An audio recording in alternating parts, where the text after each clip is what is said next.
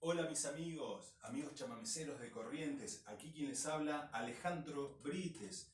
Estoy aquí para desear un feliz aniversario al programa Con acento guaraní de Horacio Cáceres, de la familia Cáceres.